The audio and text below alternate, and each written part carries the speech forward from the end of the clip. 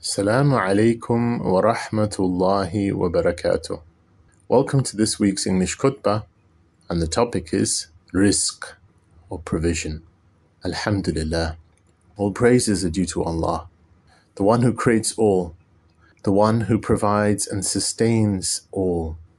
And may He be praised with an abundant praise that reaches beyond the horizons of the heavens and the earth. And I bear witness that there is nothing worthy of worship except Allah with no partners in his worship. That he is the provider, the one who provides sustenance and provision to whom he wills. And I bear witness that our Master and Prophet Sayyidina Muhammad sallallahu alaihi wasallam is the servant of Allah and His Messenger, and that He calls us to the embodiment of the most noble of character. O Allah, bestow your peace and blessings upon him and upon his family, his companions, and all of those who follow him in the best of ways until the last day. Amma ba'd, to continue. I advise you, O servants of Allah and myself, to observe the taqwa of Allah. For verily Allah is our Lord, and taqwa is the greatest means of sustenance for us. For Allah says, وَمَن يَتَّقِ اللَّهِ يَجْعَل لَّهُ مَخْرَجًا وَيَرْزُقْهُ مِنْ حَيْثُ لَا يَحْتَسِبُ And whoever has taqwa of Allah, He will make for him a way out of every difficulty and will provide for him from whence he does not expect. أيها المؤمنون, O believers. Allah subhanahu wa ta'ala informs us about Himself, saying, إن الله هو الرزاق ذو القوة المتين that indeed it is Allah who is the provider, the firm possessor of strength. So the name of Allah subhanahu wa ta'ala mentioned in this verse, Ar-Razzaq, is one of Allah's names that indicates his capacity to bestow sustenance and provision upon all his servants, to grant that to every everything and everyone alike.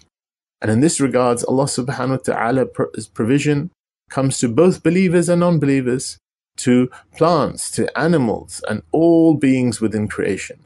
For Allah subhanahu wa ta'ala says, وَمَا مِن دَابَّةٍ فِي الْأَرْضِ إِلَّا عَلَى اللَّهِ رِزْقُهَا That there is no creature on the earth except that upon Allah is its provision. So Allah subhanahu wa ta'ala, out of His mercy and wisdom, has given His sustenance for all of creation.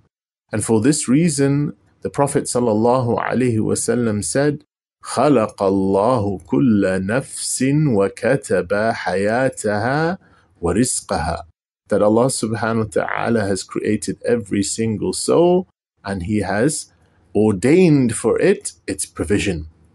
Indeed, Allah subhanahu wa ta'ala has ordained this provision in a way that distribution is mandated.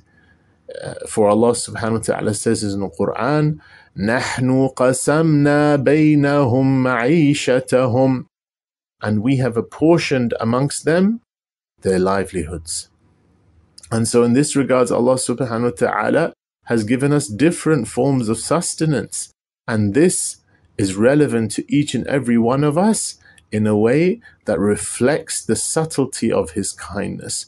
For Allah subhanahu wa ta'ala says, الله لطيف بعباده يرزق من يشاء that Allah subhanahu wa ta'ala is subtle with his servants and he gives provision to whom he wills. And this entails, brothers and sisters, that if we start reflecting on our provision, on our sustenance, we'll find that there is a dimension of mercy within it. That Allah subhanahu wa ta'ala has given each and every one of us a provision that reflects reasons and wisdom in it, including what may appear at times the withholding of provision. For if a person was to come to know the reality of why they have been given provision the way they have been given, they would not choose anything other than what Allah has chosen for them. And indeed, Allah subhanahu wa ta'ala, when it appears that He is withholding His provision, then this too is out of His kindness and generosity. And so, whoever understands this deep wisdom and the reasons will find peace in their heart and tranquility in their soul. Uh, a wise sage once said, I know that no one is destined to my provision other than me, and that no one can take it away from me. So my soul finds contentment in this. And so understanding the deeper wisdom behind our sustenance and provision helps enable us to demonstrate true reliance upon Allah subhanahu wa ta'ala. And it facilitates for us sincere effort in our work, to find satisfaction in our endeavors, and to not have the anxiety that often accompanies someone who doesn't have such trust in Allah subhanahu wa ta'ala.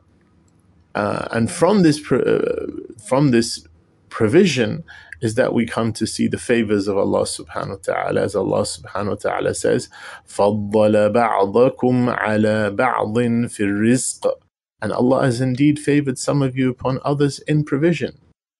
And so whilst Allah subhanahu wa ta'ala has guaranteed for each and every one of us the portion of sustenance that is our destiny, which none can take away, part of that is we seek it and be diligent in seeking it and not disobey Allah subhanahu wa ta'ala with regards to what He's given us.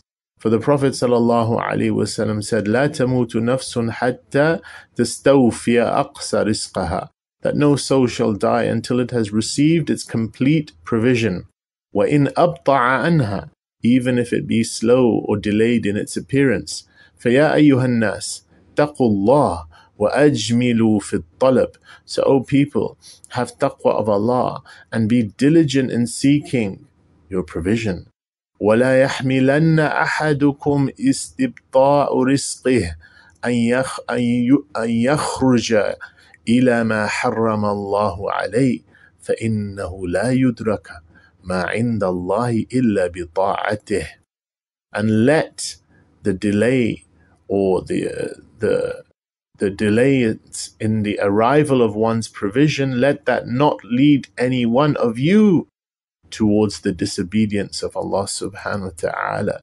For indeed it is person will not come to attain what is with Allah subhanahu wa ta'ala except through their obedience towards his commands. And this is because often sometimes that which is from our provision may be attached or conditional on obedience to Allah subhanahu wa ta'ala. And so part of this is also our ta'ah and our submission to Allah subhanahu wa ta'ala and our deep belief and certainty in His providing for us. Once a man came to one of the righteous or pious uh, successors. They asked the man because uh, they, they were going through a dire financial situation. So they asked the wise man about this. And the wise man then responded by saying, would you be willing to trade the eyes by which you see for a hundred thousand dirhams? And the man replied, who was going through the financial situation, he said, No, never.